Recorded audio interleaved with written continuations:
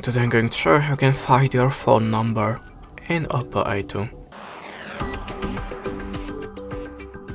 So in the first step let's open settings, then go to the mobile network and as you can see there I have a SIM1 and SIM2 and below that there we have a phone numbers of these SIM cards.